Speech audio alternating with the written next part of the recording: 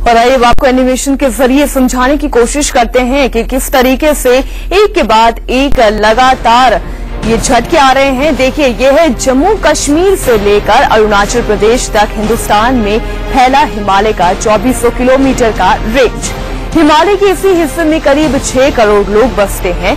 इसी हिमालय में मौजूद जम्मू कश्मीर में पिछले 36 घंटों में चार बार भूकंप के झटके आए हैं। गुरुवार को कारगिल में बादल भी फटा था। ये पहली तस्वीर है जो हम आपको दिखा रहे हैं। वहीं अब दूसरी तस्वीर आप देखिए। ये उत्तराखंड की है, जहाँ हिमालय में करीब 900 की झीलें हैं।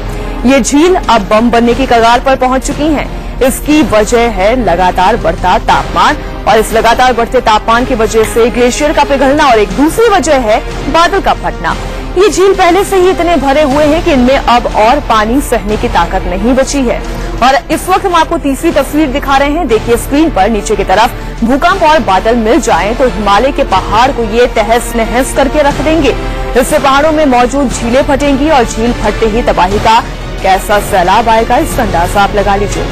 उत्तराखंड में बड़ा खतरा, केदारनाथ, बद्रीनाथ, यमुनोत्री की बात की जाए, गंगोत्री की बात की जाए, यहाँ पर खतरा मंडरा रहा है और वैसे ही तबाही के पाँव दिल्ली तक भी पहुँच सकते हैं।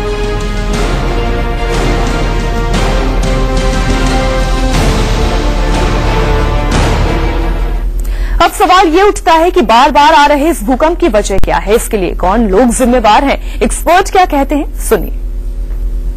हमारी गतिविधियाँ, विकास की गतिविधियाँ, हमारा अनियंत्रित विकास, हमारे पहाड़ी जितने भी शहर, जितने भी कस्बे हैं, उनकी धारक क्षमता का आकलन न होना, इस विनय विनाश की विभीषिका को और इन बदली हुई परिस्थितियों के कारण, इन बदली हुई मौसमी घटनाओं के कारण, उसके आकार में जिस तरह से वृद्धि कर रहे हैं, यह हमारी नासमझी इसमें बराबर जिम्मेदार है। बार बार आने वाले भूकंप के ज़रिए तबाही का बटन दबा रहा हिमालय, ऐसा क्यों कर रहा है? दरअसल पिछले 50 सालों में हिमालय के अंदर और बाहर की तस्वीर बदल गई।